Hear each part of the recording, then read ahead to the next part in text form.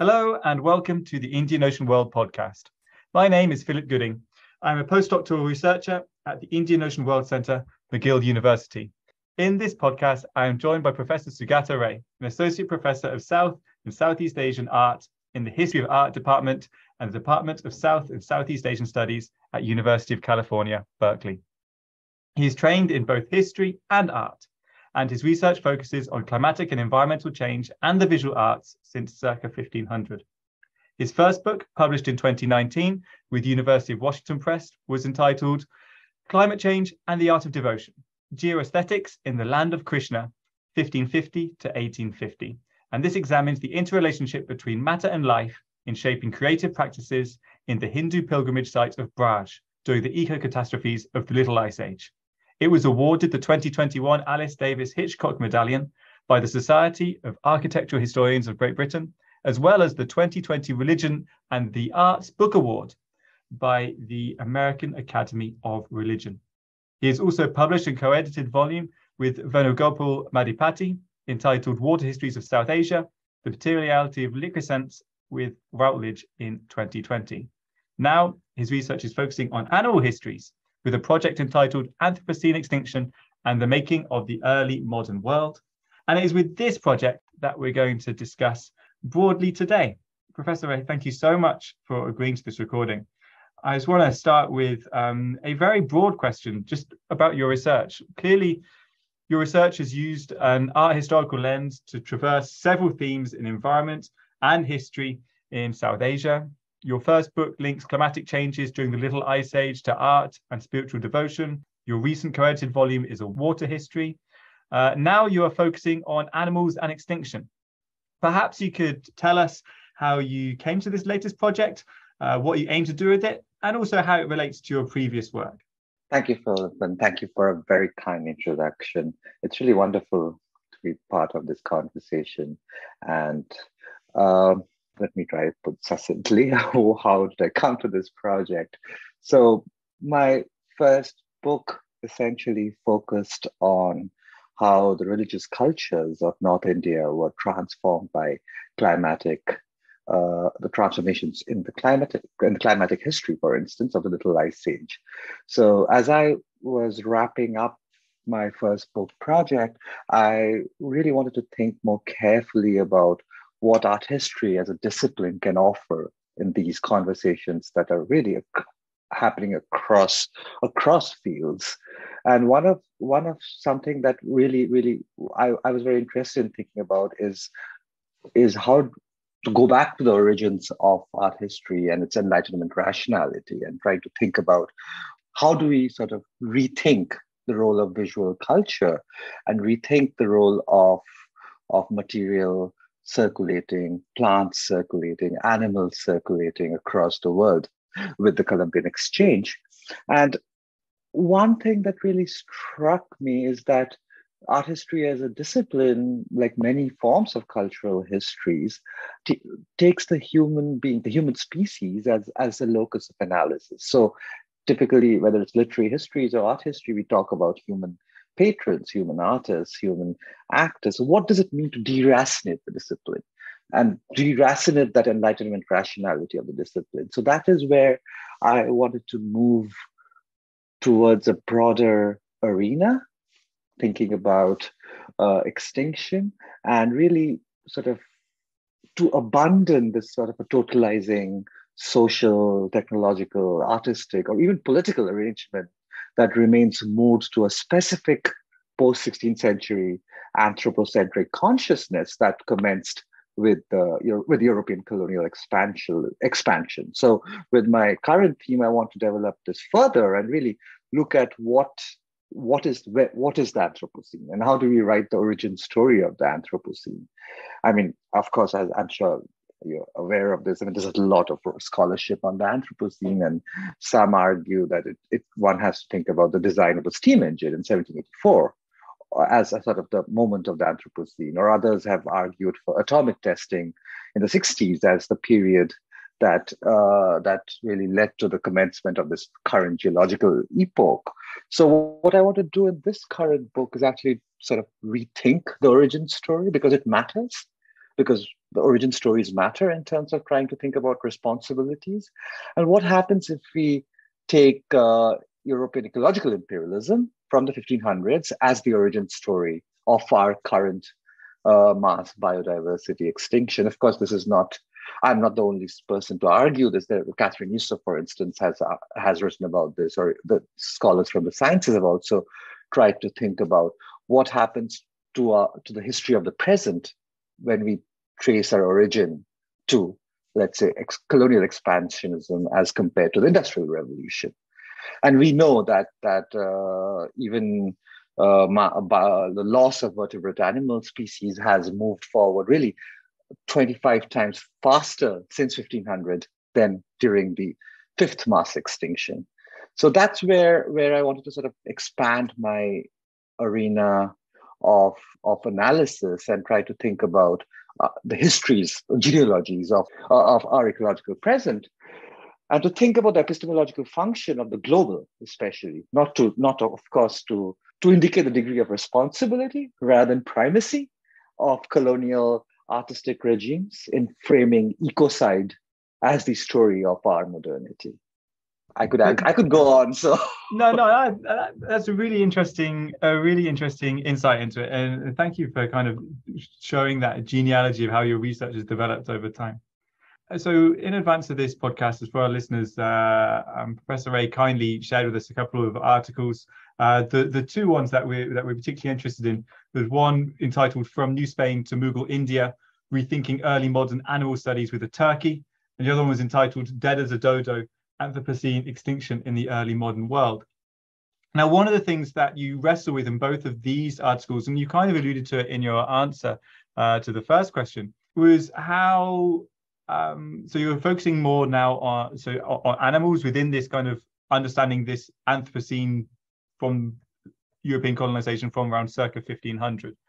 But uh, focusing on animals, I think, is fairly is, is a very novel and very interesting. Something that really struck me from your pieces that I was very, I suppose, taken by. And one of the challenges that you wrestle with is the erasure of animal agency uh, and experiences in not just in art history, but across um, academic disciplines. And I was really found it incredibly interesting the way you try to cut across this um, not just by thinking about the images and the reports of animals, but also their journeys, and by highlighting how imperialism, museums, and research institutions in the present have contributed to the erasure. I wonder, could you speak um, more to the challenges of this effort um, and its importance, especially in the age of the Anthropocene and the sixth mass extinction event currently unfolding? No, thank you for that question. And I think it's a fundamental question of animal studies, as you've also worked on it. So, uh, I, I, the question, of course, is comes from this idea that we can recover the animal in history. And, and the scholars as Erica Fudge have actually written about this question is that, I mean, obviously, from within sort of the larger post colonial rubric, the seminal essay would be Gayatri Spivak's Can the Subaltern Speak? And in a way that has influenced animal studies and like, is there an animal in history? Or, or what are our archives to access the, the real animal? So I think in a way, a lot of post-colonial scholarship sort of takes sort of offers a critique of of a certain liberal understanding of history, a liberal understanding that that the archive the historical archive can allow us to recuperate the agency of the of the non-human animal. But again, if you think about art history or any forms of history writing, it is a species-centric archive. I mean, whether we're talking about art or literature or whether we're talking about actual documents in the historical archive, it always it, it, the limits of the archive in a way see, uh, provides us with a methodological challenge to think about the historical animal. And for me, that becomes an important question, especially when we talk about colonialism, because the, the resonances of, of animal studies and sort of post-colonial scholarship, I mean, there is a, a certain intersection in this, this idea that can we recover the voice of the subaltern, or can we, if, and then the animal becomes that irreducible other so for me, that was a sort of a methodological challenge to think about this question, and especially when history or art history has its roots in a certain enlightenment rationality, can we can we unmoor our engagement with the past from our speciesist bias and what do we stand to gain from such an unmooring? So that was broadly where I'm trying to think through these. Uh, the question of, of let's say with the, the essay on the dodo is of, of a species that really has been mocked, ridiculed. I mean, the idea of the dead as a dodo, the fat dodo, and we keep hearing these sort of uh, metaphors that that are used to talk about uh, colonialism and, and extinction. And I find it intriguing that, in a way, the archive produces that animal. So if there if there is a real animal, it's our access to that real animal is not is through a certain mediated archive where you have all sorts of xenophobic, uh, all sorts of uh, structures of knowledge production that that that articulate a certain otherness so for me the turkey in a way my interest in the turkey was slightly different and my essay on the dodo that's forthcoming uh, really is going to the heart of this question of how do we write histories of extinction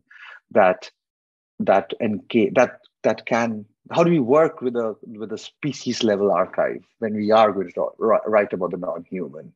Are there ways to even access or maybe perhaps there is a limit to what we can do as historians and art historians if there is a limit. I think you're doing a great job at pushing it. So that's that's that's uh, a, a, really interesting take and I, I, really appreciate it. So let's go a little bit deeper on, on the turkey then because there are significant contrasts between the, the, the turkey piece and the dodo piece. So let's let's start on the on the turkey. Um, your starting point is um, Mansur's picture of a turkey from around 1612. And then you go into a lot more depth in terms of seeing it as, I suppose, a biopolitical marvel. So it goes from uh, simply a picture to something that means a lot more, a, lot more than that. Um, I suppose first question about this is actually kind of methodological.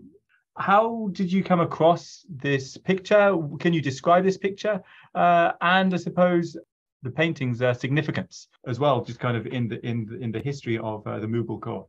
So the painting uh, by Mansur is really one of the most famous paintings by Mansur, and I think the the, the especially that because it represents a North American Turkey, mm. it hmm. sort of signals towards that exchange between the Americas and uh, South Asia that opens up new avenues of, of circulation that that is not just between Europe and and, and India, so, or even East Africa and, and, and sort of the west coast of India. So I think for that reason, the, the painting has always sort of uh, attracted scholar art historical attention. And also there is an art historical importance of the painting in terms of, of it being a tasveer or a picture of a bird. So it's, it's a portrait of a bird.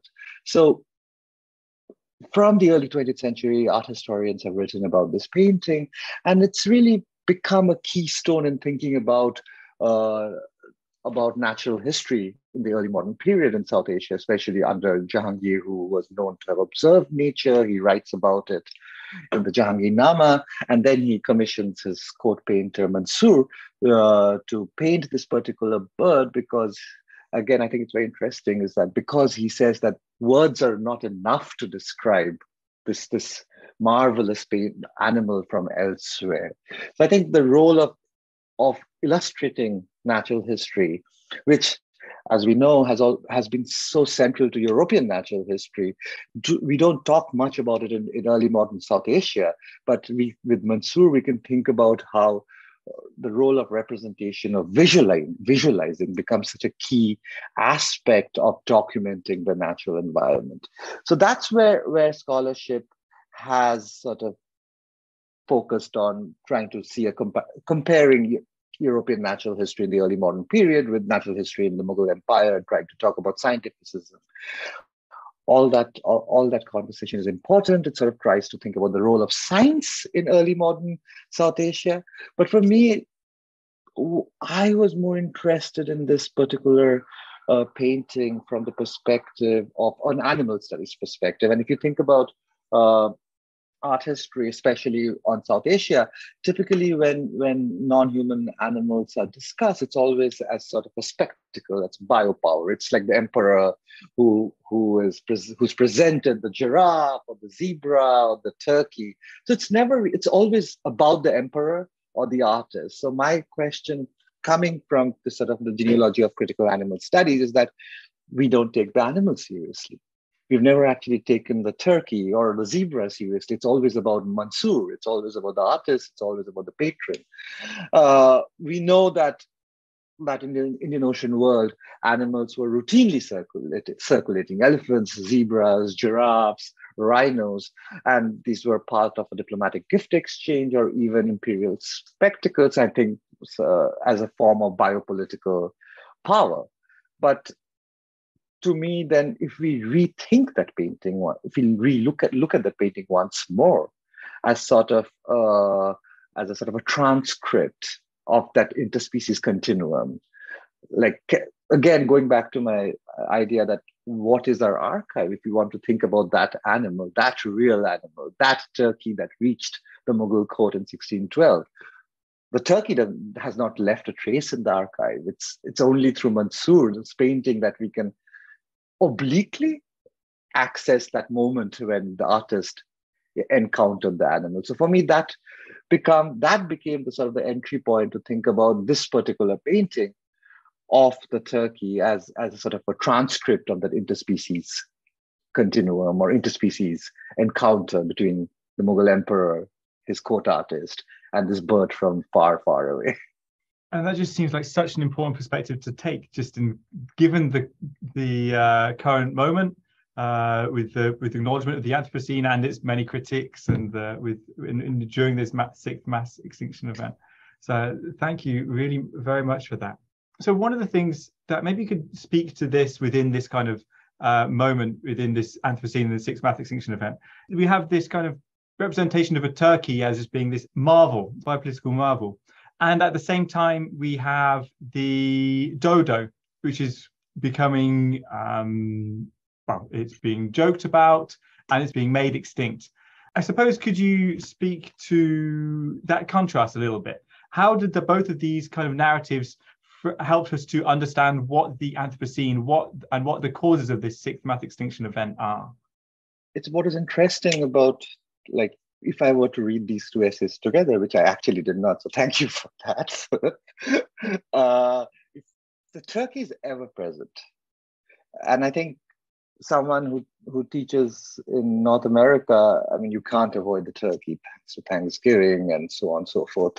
Uh, so for me, it, it was about a bird that is so common, at least in the North American context, versus a bird that is extinct, a bird that only exists in representation, a bird that only exists in, in, in our, our archives. So for me, the idea was to sort of denaturalize the turkey and try to think about that something that is so common, that is that is so everyday for at least in the North American context, has this very complex history within a global uh, flow.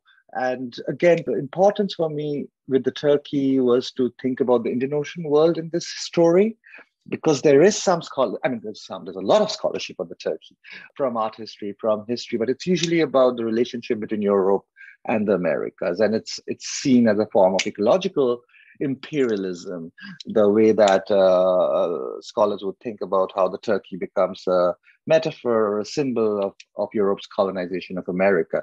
So for me, what is important, what was important was to think about about uh, Mughal India, especially, or even even China, where where where these frameworks of ecological imperialism were not operative at a global scale.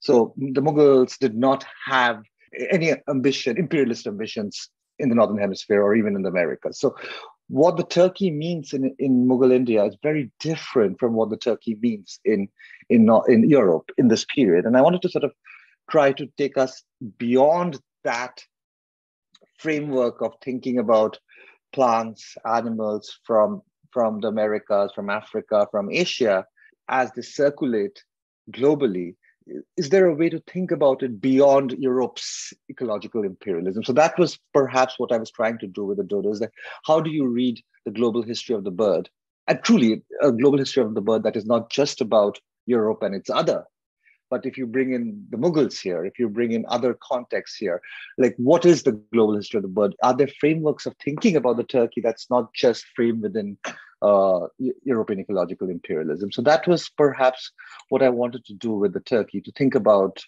the, the exotic or the foreign or the other in a context that is not structured by extractive ecological imperialism.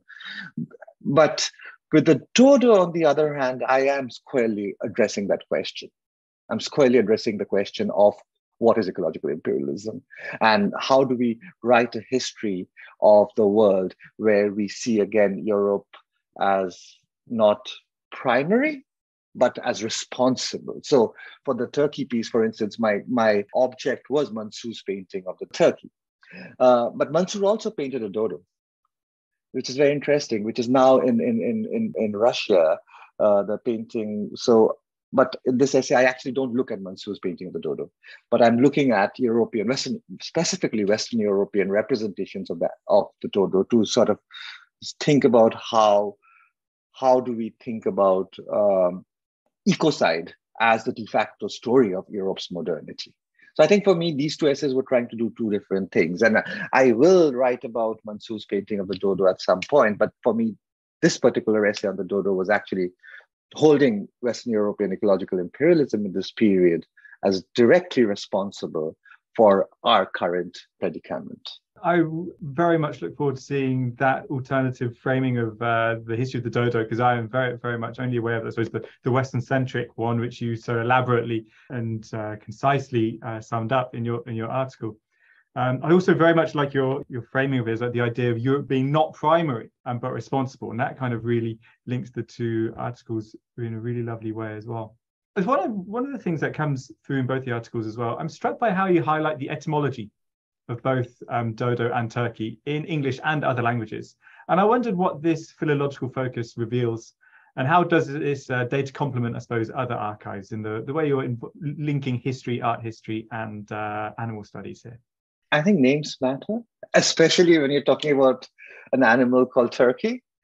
Uh, I think it, it really matters for me in trying to think about how how nomenclature defines our understanding of the environment when we call a bird turkey. Whereas in turkey the bird is called hind coming from india. So in a way how how etymological namings are really connected to geopolitical understandings of the world and uh, even with the dodo, for instance, now if you think about the word dodo, if you call someone a dodo, it's already a metaphor for stupidity or a metaphor for uh, like someone who's not able to cope with with with life. So I think how we name plants, how we name animals says much about our understanding of the environment and sort of our projections. And I think that to to to un, to work through that is important to show how how how naming is never innocent. The project of giving a name is never innocent, and so I think that's where it's important. At least for me, it was important both with the turkey and with the dodo to actually uh, sort of trace the ways in which the simple act of naming was sort of tied up to such large to a larger political, cultural, social, and economic understanding of the environment. In fact, uh, the phrase I, as I was trying to, I was doing research for the Dodo essay, I realized that Charles Dickens was actually the used the phrase "dead as a dodo" for the first time. And so it's very interesting, like how to think about what does "dead as a dodo" mean. I mean, it's a common term, common phrase now, but that embedded within that phrase is, is a deep, long history of ecological imperialism, violence, and, and, and sort of the, the role of Europe in, in shaping our basic, our very understanding of the world. So names matter. and you've just demonstrated exactly the, how that is the case. Um, so thank you very much for that. I mean, I mentioned right in the introduction, um, your project is entitled um, Anthropocene Extinction, and the making of the early modern world. Uh, would you mind just uh, talking about, I suppose, the not so much what can we expect from you in the near future? Maybe partly a, a Dodo paper from uh, Mansur's paintings, but uh, what are you working on? What can what can we uh, be excited about seeing from you uh, in the very near future? difficult question because I'm supposed to be writing the book right now. So, so I am actually working on this particular book on on on extinction anthropocene extinction in the early modern world. So I have a set of other essays coming out in the next couple of months, including an essay on monsoons, an essay on climate resilience. But my main main project right now is trying to wrap up this book, where I'm looking at each chapter in a way looks at a specific species that are either endangered or extinct, and it in and extinct because of European ecological imperialism.